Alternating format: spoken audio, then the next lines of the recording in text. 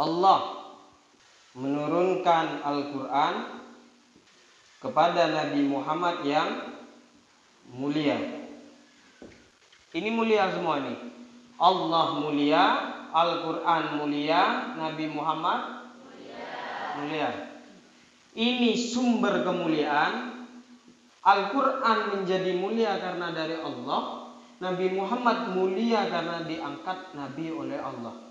Dan Al-Quran ini diturunkan oleh Allah kepada Nabi Muhammad itu tepat pada bulan Ramadan.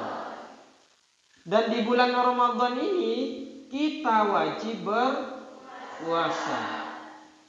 Puasa ini salah satu hadis itu mengatakan adalah kalau kalian berpuasa maka bisa menghancurkan syahwat.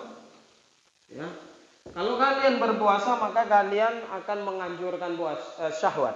Sementara syahwat ini adalah jalan tipu daya syaitan. Kalau kalian sudah bisa menghancurkan syahwat atau tipu daya, maka kalian ini akan mendapatkan takwa. Nah, takwa inilah pangkat tertinggi bagi manusia pangkat tertinggi ini. Maka kita harus tahu, selain penghancur syahwat, puasa ini juga mengajarkan betapa pentingnya sebuah sabar. Jadi karena dua ini ya, kalau kita puasa artinya kita melatih kesabaran. Selain melatih kesabaran, kita sedang berusaha menghancurkan keinginan-keinginan syahwat. Dan syahwat ini adalah jalan tipu daya setan. Kalau jalan tipu daya setan itu kita tutup, maka kita akan nikmat dalam beribadah kepada Allah. Ketika kita nikmat dalam beribadah kepada Allah, kita hakikatnya meraih ketakwaan kepada Allah. Dan takwa ini adalah pangkat tertinggi bagi manusia. Sampai diceritakan saking istimewanya Ramadan ini ada kisah di sini. Saya baca tadi. Hukiya anna rajulan ismuhu Muhammadun kana la yusalli qattu. Fa idza dakhala Ramadana yuzayyinu nafsahu bithiyabi dan lain dan seterusnya. Wa yusalli wa yubdi ma fatahu. Ada seorang lelaki bernama Muhammad. Tidak pernah melaksanakan sholat. Tidak pernah melaksanakan Ada seorang lelaki bernama Muhammad tidak pernah melaksanakan sholat. Tetapi ketika bulan Ramadan tiba, Muhammad ini dia akan berpakaian rapi, dia pakai parfum, dia kemudian melaksanakan sholat dan mengkodok sholat-sholat yang dia tidak laksanakan. Jadi saking banyaknya sholat yang tidak dilaksanakan di kodoknya di bulan Ramadan sampai-sampai sehari full dia melaksanakan sholat, mengkodok semua, membayar semua sholat yang dia tidak laksanakan di selain bulan Ramadan. Kemudian si lelaki ini mati. Ketika si lelaki ini mati, lalu kemudian ada seorang lelaki bermimpi Muhammad ini jadi di dalam mimpinya itu si lelaki ini ber, bertanya kepada Muhammad, "Ma fa'alallahu bik?" Apa yang Allah lakukan kepadamu Muhammad? Bukan Nabi Muhammad ini ya. "Ma fa'alallahu bika?" Apa yang Allah lakukan kepadamu Muhammad di kuburan? Kemudian si lelaki ini menjawab, "Ghafarali Rabbi bi rahmatin eh, Ramadhanah." Allah mengampuniku atas rahmat Allah karena aku menghormati bulan Ramadan. Orang tidak sholat, kemudian di dalam bulan puasa dia melaksanakan sholat dan mengkodok semua sholatnya, kemudian dia mati. Kalau secara pikiran kan secara akal banyak dosa nih. Tapi karena dia menghormati bulan Ramadan, akhirnya dia masuk surga. Di, dimaafkan, diampuni segala dosa-dosanya. Ya tapi jangan sampai ingat loh ya saya menceritakan ini jangan sampai kemudian di, di luar Ramadan kamu tidak sholat. Oh kalau gini aku nggak mau sholat nih. Nanti kalau udah bulan Ramadan, aku mau sholat, mau kodok semua. Tidak bisa. Yang perlu kita ambil pelajaran dari kisah ini adalah apa? Laki-laki yang bernama Muhammad ini menghormati bulan Ramadan. Karena menghormati bulan Ramadan, maka dosa-dosa yang dia tidak melaksanakan sholat diampuni oleh Allah.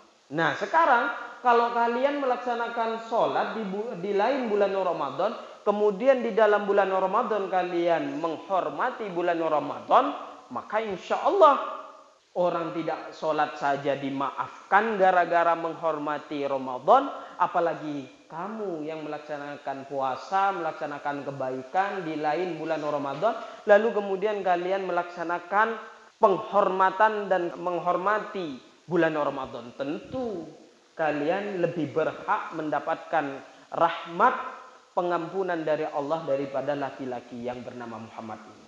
Paham semua ya? Nah, ini inti kenapa kita harus menghormati bulan Ramadan. Ada pertanyaan. Kalau makan di luar Ramadan karena lupa, itu tidak apa-apa. Iya betul. Ada teman saya dosen dulu 2017. Jadi kita itu semua puasa, satu dosen ini lupa bawa air. Jadi dia dengan sombongnya minum di depan kita. Padahal waktu itu kita sedang puasa. Minum jeblok jeblok jeblok jeblok. Ketika ditanyain, Pak, enggak puasa. Eh, bulan Ramadan enggak? Iya, baru dia ingat. Ya Allah, hukumnya bagaimana? Rizki itu hukumnya. Eh, enak. Sekarang pertanyaannya, bagaimana dengan berjima? Berhubungan badan dengan istri. Oh, ini saking biasanya orang yang berjima di bulan Ramadan ini karena biasanya per, baru menikah. Ya. ya. Kalau baru menikah ini subhanallah semalam bisa empat kali lima kali. Apanya? Jangan salah paham kamu push up. Ah, push up. Itu bisa empat sampai lima kali. Bahkan kalau baru menikah dan lebih-lebih nikah di bulan Syakban. Boleh, boleh. Bulan Ramadan kamu puasa boleh. Tapi itu kalau kamu baru melaksanakan pernikahan di bulan Syakban ini bahaya. Karena kadang-kadang siang dianggap malam, malam dianggap siang, bahkan siang dianggap malam semuanya. Malam, siang semuanya malam. Saking apa? Saking Lalu kalau pertanyaannya, kalau kemudian berpuasa dia berjima di siang hari karena lupa bagaimana hukumnya? Ya nggak apa-apa, nggak apa-apa. Malah itu sangat enak.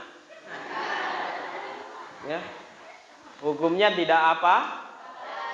Yang perlu kamu pertanyakan bukan ini sebenarnya. Kalau masalah lupa, apa saja hukum di dalam Islam? Kalau kamu lupa, hukumnya pasti tidak apa-apa. Itu intinya ya. Intinya dalam Islam kalau kamu lupa, asal lupa mau tidak disengaja, pokoknya lupa, apa pun hukum di dalam Islam kalau kamu lupa hukumnya makfu ali. Dimaafkan kamu. Jangankan cuma ini, yang lebih dari ini dimaafkan oleh Allah, asal lupa. Nah, sekarang yang perlu kamu pertanyakan itu ada yang lebih aneh. Misalnya, kamu sahurnya pakai istri. Ya, Sahur, sahur, sahur, sahur. Gitu kata orang. Karena kamu beranggapan, oh masih lama nih. Akhirnya, karena kamu masih nikah anyar, nikahmu masih baru, akhirnya kamu, dek masih punya kesempatan kita nih. Akhirnya si istri bilang, iya bang, ayo bang. Akhirnya suami istri melaksanakan hubungan ini. Sahurnya pakai sahur jima. Kemudian adzan. Imsak, imsak nggak denger nih. Akhirnya adzan. Allahu Akbar, Allahu Akbar, subuh. Ah, itu gimana? Ini masih melengket nih. Dicabut gimana, diteruskan gimana? Itu kan kamu agak ragu-ragu nih. Ini gimana caranya? Ya caranya kamu itu batal kalau kayak gitu kan. Ya, ba batal. Batal. Kalau kamu batalnya dengan jima, maka si laki-laki wajib puasa dua bulan berturut-turut. Nah, yang perempuan enggak. Ini khusus laki-laki. Jadi kalau kamu ini, ingat loh besok kalau mau menikah, jangan menikah di bulan Syakban. Khawatirnya, ya khawatirnya itu siang dianggap malam, malam siang dianggap malam. Itu yang bahaya. Buahaya itu. Oke, paham ya? Jadi intinya hukum di dalam Islam, kalau kamu lupa, semuanya dimaafkan oleh Islam. Termasuk kamu nggak sholat karena lupa, nggak disengaja. Insya Allah dimaafkan oleh Allah. Ada seorang laki-laki berji, berjima lagi ini ya. Ada seorang laki-laki berjima pada siang hari di bulan Ramadan. Puas di uh, batal hukumnya dan wajib membayar fidyah. Iya betul. Pertanyaannya, apabila seorang laki-laki berjima satu kali, kan diperintahkan membayar fidyah. Apabila, apabila ia berjima dua kali atau lima kali dalam boh, apakah berlipat-lipat? Idahnya jima satu kali di bulan Ramadan dengan sengaja kan wajib bayar fit fitiannya apa? Kafarat sebenarnya. Wajib membayar kafarat. Kafarat apa? Kafarat puasa dua bulan berturut hmm, berturut-turut nah sekarang kalau misalnya melaksanakan hubungan suami istri berjima di bulan Ramadan berkali-kali saya baca kemarin orang yang kayak gitu itu dia tidak wajib membayar kafarat berulang-ulang. Kalau kamu batal karena jima, maka kamu cukup membayar dua bulan. Jadi kalau sampai dua kali jima, empat bulan enggak. Tunggu ya, kitabnya ada di sini. Enggak ditandai sama saya. Kemudian yang ini ada sebelum saya mulai. Jadi enak langsung tinggal gitu. Terus kitab nih jangan dirusak. Ya, jangan dirusak, sediakan doa. Apakah benaran di bulan Ramadan ini akan terjadi dukhon? Oh. Ya, ya, ya, bagus nih. Pertanyaannya bagus. Kalau bisa jangan banyak-banyak ya. Ini kan aduh saya lebih baik baca kitab saya nih Ya. Pertanyaannya, apakah benar di bulan Ramadan ini akan terjadi dohon? Jika terjadi di, di ter, jika terjadi 15 Ramadan ini, apakah harus membatalkan puasa?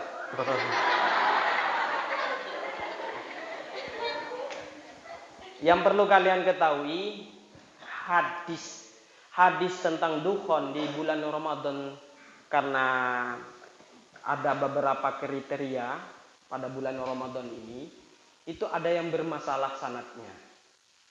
Ada yang doif. Karena ada yang doif maka hadis ini lemah. Itu yang perlu kalian ketahui. Satu.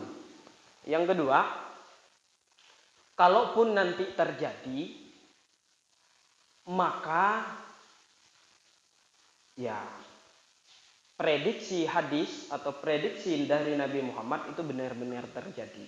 Tapi kalau misalnya tidak terjadi, bukan berarti Nabi Muhammad bohong.